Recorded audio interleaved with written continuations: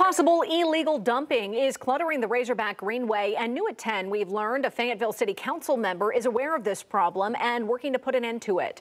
5 News reporter Michael Wilson joins us now. And Micah, the council member says in order to address the problem, the city must fix another issue first. Yeah, Erica, City Council member Sarah Moore says the council needs to address the issue of the high volume of people experiencing homelessness. Now, it's believed that they are causing this mess right here. You can see that plastic cup right there. There's so much mess just littering the greenway, including clothes and plastic bags and so much more. But that's only a portion of this issue.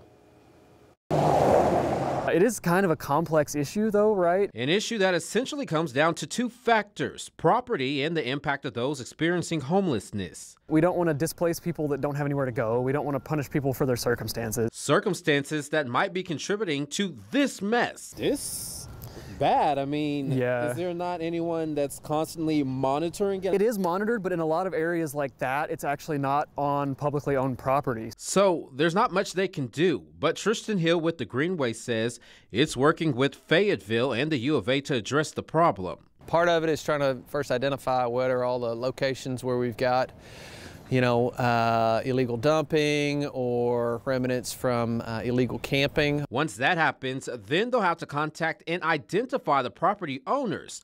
But it brings up another problem. Deeds have been transferred, it's been bought and sold, and so we nobody's actually honestly super sure who owns it right now.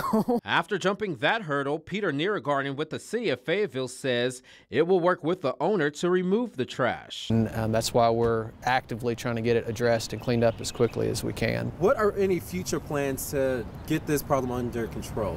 Um, there's no single solution, I think, to the problem, but um, it takes a, a you know a, a collective community effort. City Council member Sarah Moore says the city must go to the root of the problem.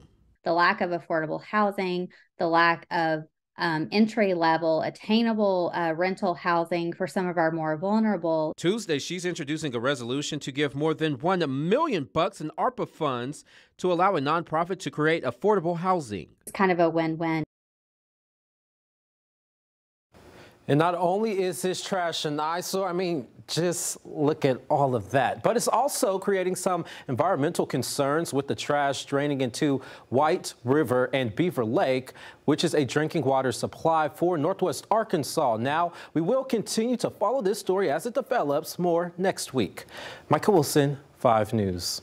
All right, Micah, thanks. The city and the Greenway are both thankful for volunteers that help clean up and say there is a program paying those experiencing homelessness to help clean the Greenway.